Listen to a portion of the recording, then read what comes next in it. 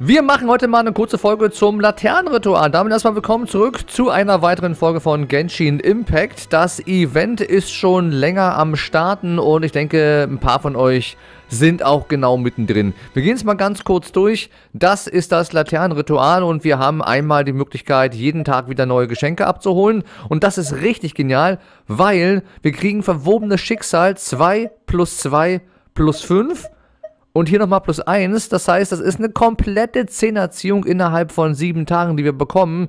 Und man hat dafür jetzt noch elf Tage Zeit. Also wer Genshin Impact aufgehört hat zu spielen und ab und zu mal reinschaut, der sollte mindestens sich sieben Tage lang einloggen, dass er eine gratis Zehnerziehung kriegt. Das ist richtig, richtig gut. Und dann noch ein bisschen äh, Bücher zum Aufleveln, ein paar Verstärkungsärzte für die Waffen. Also das ist schon ziemlich genial. Dann kann man den neuen Helden austesten, das ist jetzt nichts Neues, das kennen wir auch schon. Und das Hauptaugenmerk ist eben das Laternenritual. Und die heutige Folge geht um das Theater der Vorrichtungen. Also wir haben natürlich auch wieder hier Nebenquests und so weiter und etappenweise, wie wir es eben kennen von äh, Genshin Impact. Da oben steht Laternenritual. Was es damit auf sich hat, Gästin Sphärin, kann ich euch nicht sagen. Guckt es euch selber an. Für uns ist wichtig, Theater der Vorrichtung und Laternenmarkt. Im Laternenmarkt kannst du Sachen eintauschen. Wir sind jetzt schon in der zweiten Phase, das heißt, ich könnte mir jetzt hier schon ein paar coole Sachen traden. Mache ich auch, 1000 Punkte habe ich schon, hole ich mir einmal die Krone, ist denke ich auch das wertvollste Items. Und dann, wenn man noch ein bisschen mehr übrig hat, kann man sich das hier ebenfalls traden. Und wie bekommt man jetzt an diese grünen Einheiten? Die grünen Einheiten kriegst du eben durch das Theater der Vorrichtung. Und das ist genau das, was wir im Stream auch gesehen haben, nämlich Dungeon Defender. Richtig cool, ich mag das, habe ich mich super drauf gefreut und heute habe ich endlich mal die Zeit gefunden, hier auch was aufzunehmen. Es sieht erstmal sehr komplex aus, weil wir überall Zahlen haben und Symbole und man kann überall hinklicken. Für uns ist nur wichtig, wie läuft das Ganze ab? Wie können wir unsere ganzen äh, Verteidigungseinheiten aufstärken? Und was muss man überhaupt tun, um an diese grünen Sachen zu kommen, weil die brauchen wir ja für den Markt. Da stehen die Bedingungen, schließe ein Level im Theater der Vorrichtung auf Schwierigkeitsstufe 1 oder höher ab. Das machen wir, wenn ich hier rausgehe, in Liur. Das ist bei der Dame Hui Jin und die befindet sich natürlich in Liur, dort wo das Fest auch stattfindet. Und sie ist auch auf der Karte eingezeichnet, das ist ähnlich wie noch bei dem äh, Foto-Event, ist auch die äh, nahezu gleiche Stelle. Dann gehst du einfach hier hin quatsch die an und dann darfst du gerne eine Runde spielen. Wir gehen mal auf Spielen. Keine Angst, wir machen das noch nicht. Ich will nur zeigen, wo hier der Schwierigkeitsgrad ist. Und dann drückst du Dreieck und hier kannst du den Schwierigkeitsgrad anwählen. Du beginnst von vorne, musst es einmal schaffen, dann schaltest du den nächsten frei. Und hier die Stufe 6 dürfen wir noch nicht spielen. Auch das wieder Genshin Impact typisch. Kommt immer ein paar Tage später. Jetzt aktuell das höchste, heute auf dem Sonntag, ist Schwierigkeitsgrad 5. Wurde heute freigeschaltet. Und da gibt es eben ein paar coole Sachen, die wir uns auch als Belohnung holen können, wenn wir es dann schaffen. Also so erstmal das Einstellen. Für einmal spielen brauchst du eine Laterne. Laternen kannst du dir craften, wenn du in der freien Wildnis Sachen einsammelst. Gräser, Erze und Monster besiegen.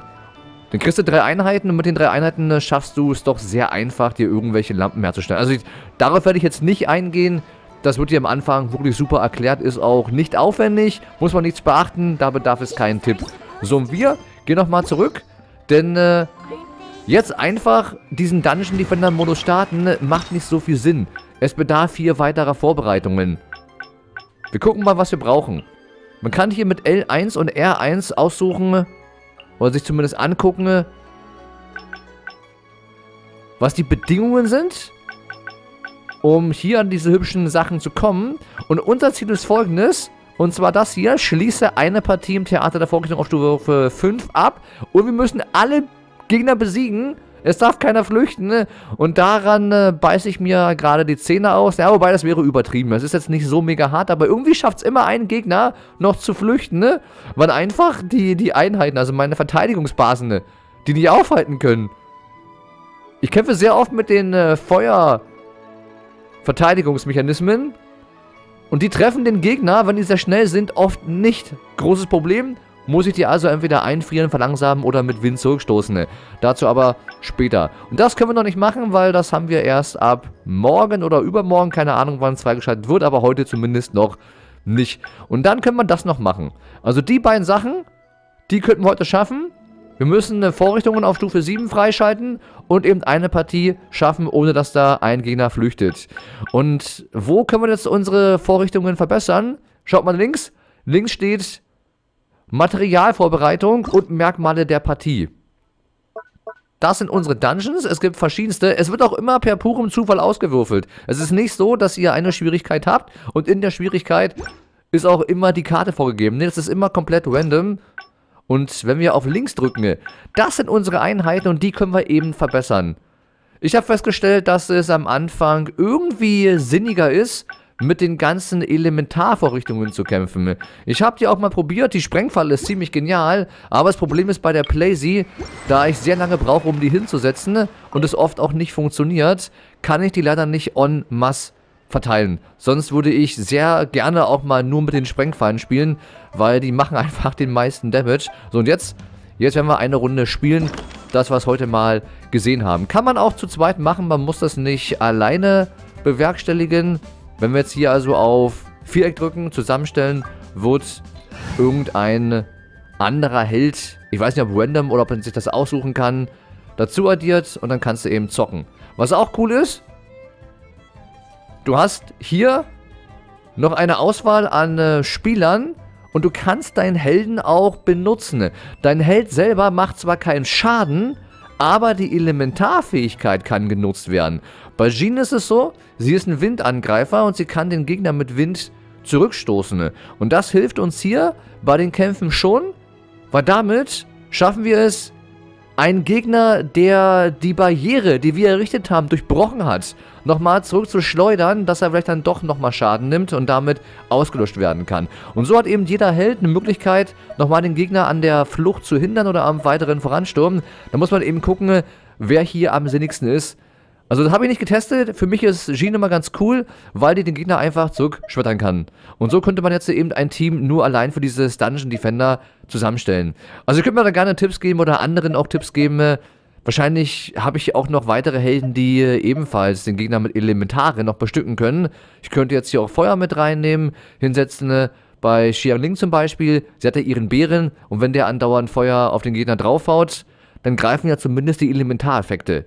Kann man sie zunutze machen, muss man aber nicht. Also wie ihr eben dann drauf Bock habt. So, und ich gehe auf Herausforderung starten und dann mal gucken.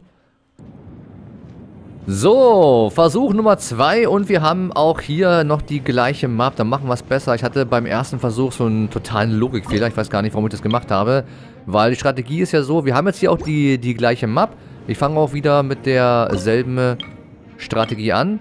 Ich setze hier erstmal von jedem Element eins hin und dann mal gucken, was passiert. Und ich habe leider nach vorne gebaut. Ich wusste, dass irgendwann von der linken Seite auch Gegner kommen. Aber ich habe hier leider nichts mehr hingebaut, was ein kompletter Fail gewesen ist. Und jetzt muss ich gucken, wie ich es mache. Ich denke, ich werde hier am Anfang erstmal ein paar von den Geschossen hinsetzen. Weil die können dann den Gegner schon mal abhalten und zurückschrecken lassen. Sollte erstmal ausreichen. Jetzt habe ich keine Punkte mehr und jetzt muss ich hoffen, dass auch alle Gegner, die hier kommen, sofort besiegt werden. Mein Ziel ist es in der ersten Phase, dass ich nichts mehr hinbaue, dass ich im besten Fall, schaut mal nach links, da stehen da meine Baupunkte und wie viele Vorrichtungen ich überhaupt insgesamt bauen darf. 5 von 14. Ich werde auch alle 14 hinbauen, denn ich habe schon die eine Herausforderung abgeschlossen, dass ich eine Map nur mit 12 von 14 schaffen soll. Es ist natürlich schwierig, mit zwölf Vorrichtungen äh, das so zu meistern, dass hier keiner irgendwie durchbricht. Aber ist auch gar nicht das Ziel. Es war nur die Bedingung, man muss zwölf bauen, nicht mehr und nicht weniger. Hauptsache, man schafft die Karte. So, und jetzt? Jetzt kann ich 14 bauen. Werde ich auch. Aber ich will die Vorrichtungspunkte nicht jetzt schon ausgeben. Denn nach jeder Runde kommt nämlich folgendes. Dann kriegen wir einen Bonus, den wir uns auswählen dürfen, der uns in der darauffolgenden Runde stärkt. Und die dicksten Boni kosten 300 Punkte. Die habe ich jetzt auch gleich. Es sind noch 5 Monster übrig. Muss nicht kommen. Ich kann natürlich auch Pech haben und dass ich nur Crap kriege. Aber von dem, was ich jetzt gleich bekommen werde, mache ich es abhängig, was ich hier hinsetze.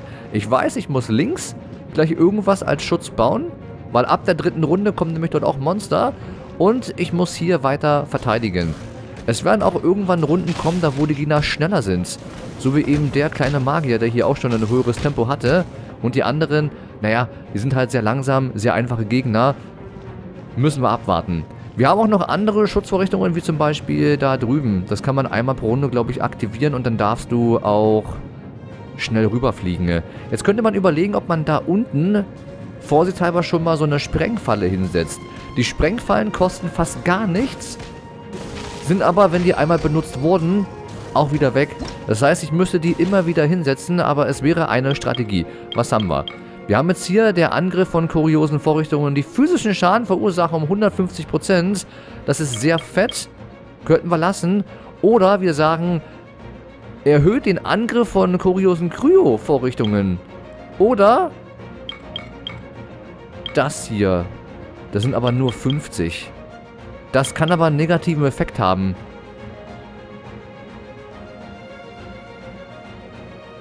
Jetzt habe ich zu lange gebraucht. Jetzt habe ich gar nichts genommen. Das war Grab. Was haben wir? Wir, wir kriegen jetzt Feuereinheiten. Ne? Wir kriegen jetzt Feuereinheiten. Das heißt, wir setzen... Äh, hm... Wir setzen nochmal ein bisschen Wasser hin. Ich hau hier jetzt mal Wasser hin. Und dann hau ich ein wenig Eis zum Einfrieren. Und dann sollte es erstmal ausreichen. Ne? Danach werde ich dort an der Seite nichts mehr hinsetzen. Ne? Ich hoffe, das reicht. Jetzt habe ich zu lange gelabert. Das ist aber auch völlig normal bei der Aufnahme. Ich hätte instinktiv jetzt schon das Oberste genommen. Aber jetzt haben wir den Bonus nicht bekommen. Aber egal.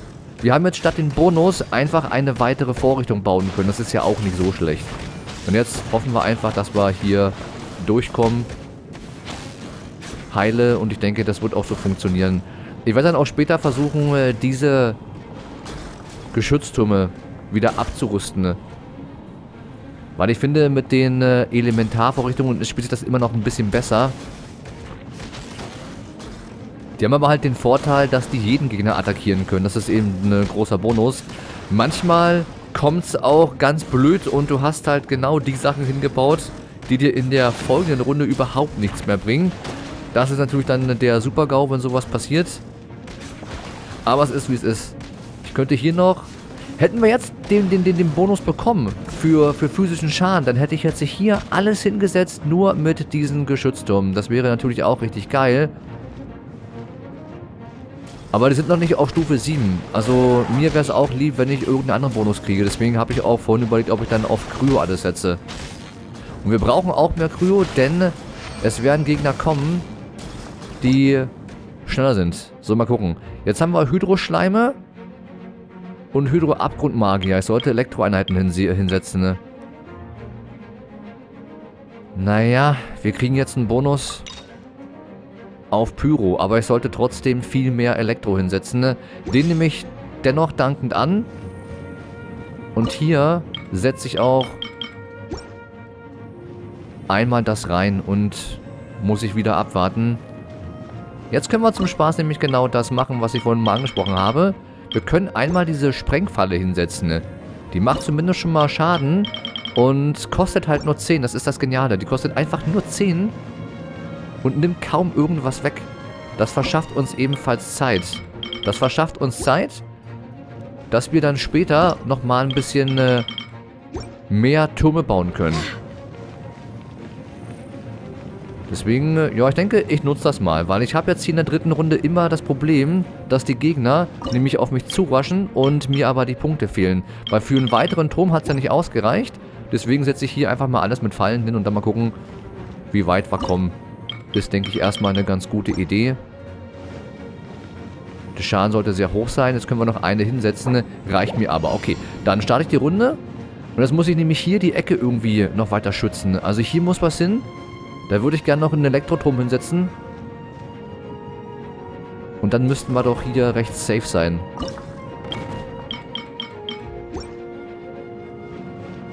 So zum Beispiel.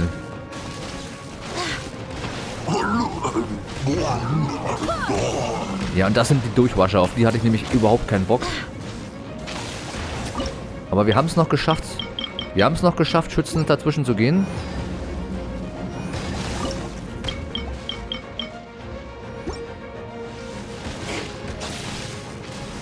Ist schon jemand durchgebrochen? Ich denke nicht, oder? Sieht ganz gut aus. Es war eine vernünftige Strategie, die Sprengfallen auch genau dort zu positionieren. Jetzt haben wir nämlich hier schön Schutzbild.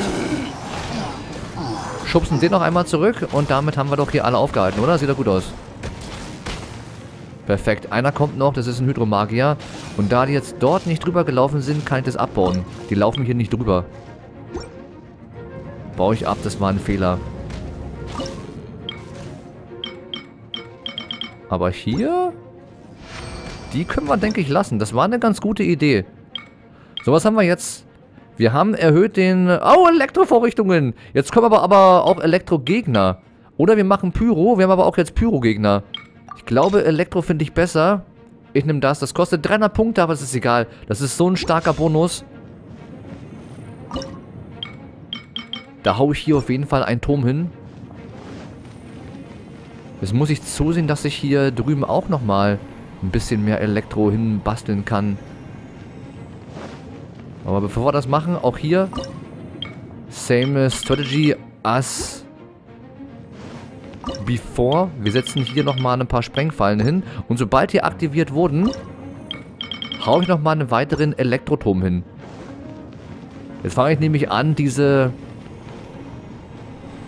physischen äh, Vorrichtungen nämlich wieder abzurüsten. Ne? So, mal gucken, ob das eine gute Strategie jetzt hier ist. Die setze ich auch in die Ecke hin.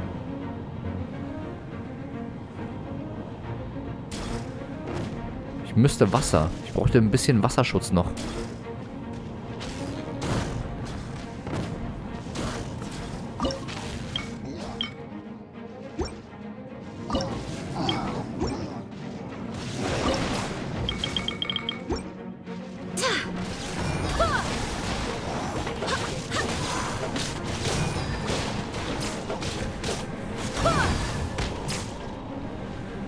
Oh, war das knapp.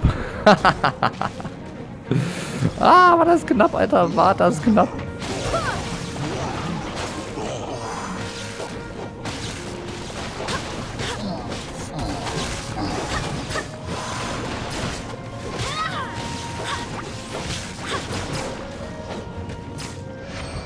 Ja, wie gesagt, wir, wir machen zwar keinen Schaden, aber wir können die halt mit unserem Helden abhalten. Ne?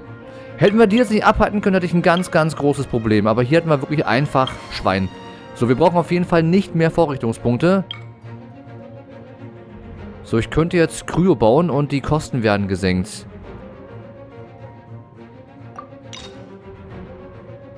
Mache ich auch, denn das ist das Einzige, was mir noch fehlt. Wir haben jetzt hier Hydro- und Ruinenwächter und die Ruinenwächter, die sollte ich auf jeden Fall abhalten. Die muss ich abhalten. Jetzt werde ich hier nämlich... Jetzt werde ich alle meine Turme hinsetzen.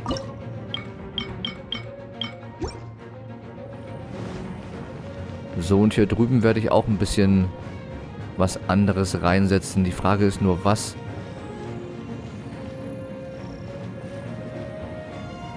So, hier war schon Kryo. Machen wir vorher. Ist jetzt hier nochmal ein Kryo hin. Und dann hoffen wir, dass wir die Phase irgendwie überstehen.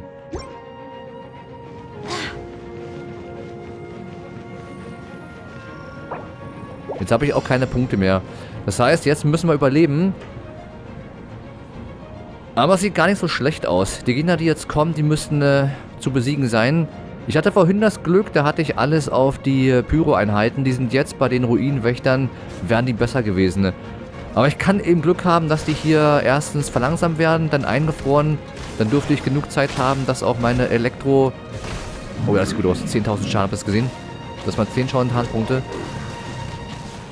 Und der ist auch eingefroren. Konnte abgehalten werden. Nice, okay. Das war auch meine größte Sorge, weil der sehr schnell ist. Und den kannst du ja auch nicht zurückschubsen, ne? Das heißt, links sollte nichts passieren. Jetzt kommt schon der, der, der, der nächste Schnelle. Wenn ich Pech habe, greifen halt diese ganzen Schutzvorrichtungen nur diese Hydro-Typen an. Und dann wird der, der Schnelle nämlich gar nicht besiegt. Doch, das war sehr gut. Dann machen wir ja alles soweit richtig.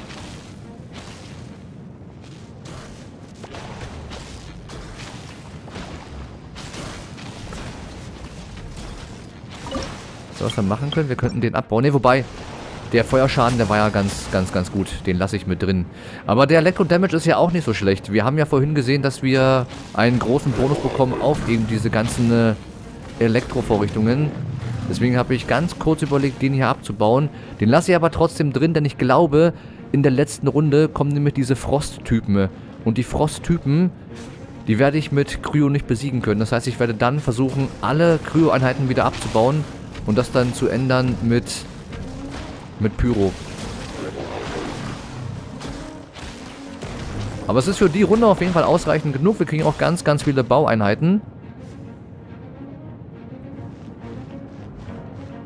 Zwei sind noch. Der sollte nicht das Problem sein. Und auf der linken Seite sollte auch nicht das Problem werden. Dann müssten wir es damit nämlich auch geschafft haben. Und dann mal gucken, ob wir hinten raus ein bisschen Glück haben mit den Gegnern.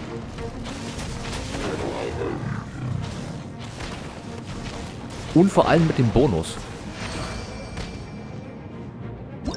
So, perfekt. Das sieht doch gar nicht so schlecht aus. Was kriegen wir hier? Hydro-Vorrichtungen. Das ist natürlich geil. Nehme ich dankend mit an. Und das ist wirklich ein Frostarm.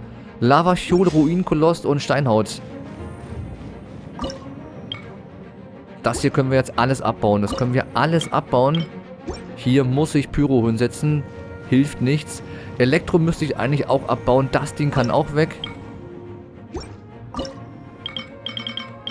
Da haue ich auch nochmal eine Pyro-Einheit mit rein. Jetzt habe ich hier Wasser und Wasser. Das ist gut. Ja, und Eis bräuchte ich jetzt nicht mehr. Ich, ich, ich muss es abbauen. Ich werde es auch abbauen.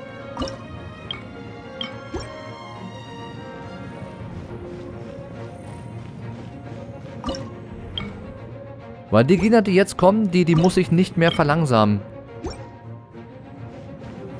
Reicht das? Jetzt ist die große Frage, reicht das aus? Ich habe hier drei Feuereinheiten. Ich habe die Wassersäulen auch überall gleich verteilt, dass die immer jetzt mehr Schaden abbekommen sollten. Es sollte so funktionieren, dass wir hier die Runde auch überstehen, ohne dass da irgendwas Schlimmes passiert. Müssen wir mal gucken. Es sind 16 Monster, da kommt doch schon der erste große Koloss. Mal gucken, was er für Schaden bekommt. Erstmal nur 3500, aber jetzt, jetzt geht's erstmal los. Bekommt er Wasserdamage. Und weg ist er. Hat ausgereicht. So, der macht mir jetzt ein bisschen Sorgen. Ich hoffe, dass, dass, dass diese Ecke hier ausreicht. Sieht gut aus, ne? Jawohl, sieht gut aus.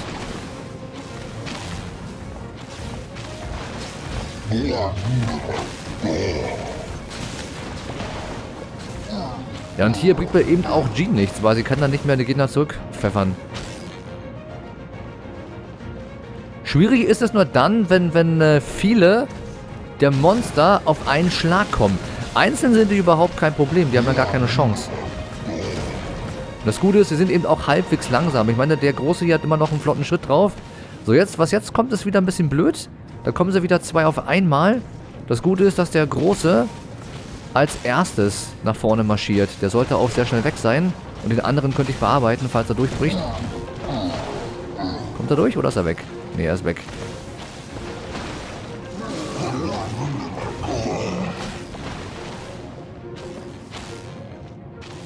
Ja, ich würde sagen, das war's. Das war genau die Runde, die wir gebraucht haben, dass wir hier auch den Bonus bekommen. Hier sollte keiner mehr flüchten. Es sind noch fünf Monster, die übrig sind.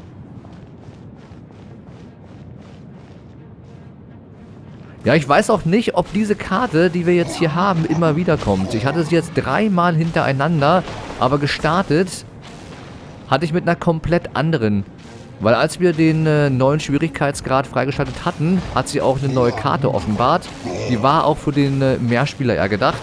Vielleicht liegt es daran, dass ich hier Solo spiele und das Spiel sich dann gesagt hat, naja, wer Solo spielt, bekommt eben die Map, die auch für Solo-Spieler etwas besser zu bewältigen ist. Ich weiß es nicht. Da habe ich keine Ahnung, keine Infos bekommen, aber ich beschwere mich nicht. Das ist eine, eine ganz gute Ecke für Solisten, hier die Map auch anzugehen. Und es gab einen Knackpunkt, das war die dritte Phase. Sie war auch bisher immer der Knackpunkt. Entweder kam schnelle Gegner oder eben Monster, wo ich die falschen Vorrichtungen hatte. Ich hatte Glück, dass ich die Gegner hier zurücksteuern konnte. Ich weiß nicht, wie es bei euch ist. Nehmt euch irgendeinen Helden, mit dem ihr auch gut zurechtkommt, der auch einen coolen Effekt hat. Dass man da noch ein bisschen Zeit rausschlagen kann. Und 774 Punkte, das ist natürlich genial. 774, damit kann ich wieder zwei Vorrichtungen aufpimpen. Und vielleicht mache ich sogar noch eine Runde. Dass ich alles auf 7 kriege. Ist aber gar nicht notwendig. Und das war's. Das war's für heute. Damit ist Genshin Impact für mich wieder erstmal abgeschlossen und ich warte, bis es den neuen Schwierigkeitsgrad gibt. Also wer Bock hat oder das möchte, der kann auch reinschreiben, ob er dann für die anderen höheren Stufen auch nochmal ein Video braucht, aber ich denke nicht. Im Endeffekt ist es wirklich nur abhängig davon, was bekommt man als Bonus und welcher Gegner kommt. Darauf müsst ihr achten. Welcher Gegner kommt in der nächsten Runde und was müsst ihr eben hinsetzen? Wie sind eure Boni? Und da würde ich immer meine Entscheidung so treffen, wie eben der Vorteil euch gerade gut gesonnen ist. Anders wird es nicht funktionieren, weil sonst macht ihr so wenig Schaden ne? und keine Ahnung, wie es dann ist in den oberen Stufen. Ja, und das war's. Jetzt haben wir hier nämlich die Belohnung auch eingeheimst. Jetzt haben wir 300 und wir können eben unsere Materialien weiter verbessern. Ich steigere die Windvorrichtung nach oben und ich steigere auch die Sprengfalle nach oben. Weil die Geschoss... Ich weiß nicht, diese... Also die kuriose Vorrichtung Kanone, die ist am Anfang ziemlich genial. Weil die nur 100 kostet. Am Anfang kostet die nur 100. Ich glaube, ich nehme die. Dann machen wir die, weil die gibt mir wirklich am Anfang einen viel, viel größeren Bonus und finde ich Hammer. Dann kann ich die wieder abbauen, was Neues hinsetzen und ja, ich denke, eine Runde mache ich noch. Dann bin ich hier überall auf 7. Das ist auch mein Ziel. Jetzt kann ich mir das auch noch einsammeln. Und jetzt, jetzt machen wir nämlich genau das, was wir vorhin ge gezeigt bekommen haben, den Laternenmarkt.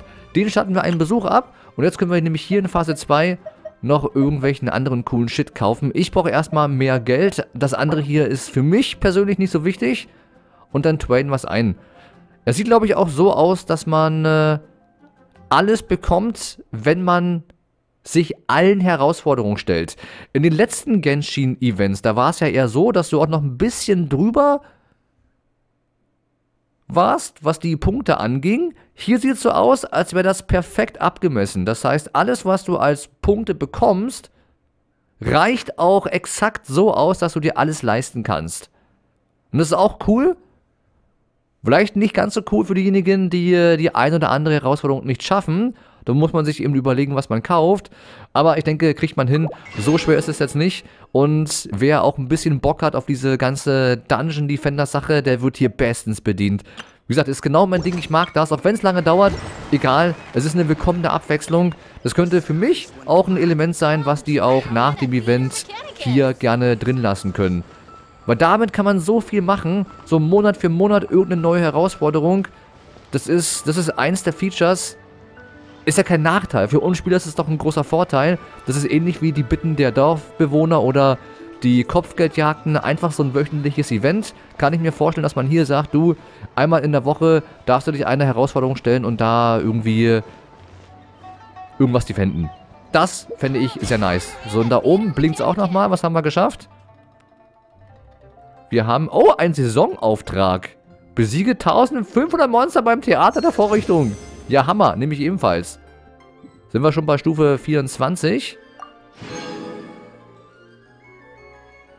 Und können uns auch fast wieder Harz leisten. Ne? Nice. Das war's zur heutigen Folge. Ich bedanke mich fürs Zugucken. So sieht's aus. Das ist das Laternen-Event und der Dungeon Defender Style. Wir sehen uns wieder, wenn es irgendwas Neues zu bestaunen gibt. Und damit erstmal euch ein schönes Wochenende noch, ein restliches. Und bis zum nächsten Mal. Ade und Tschüss.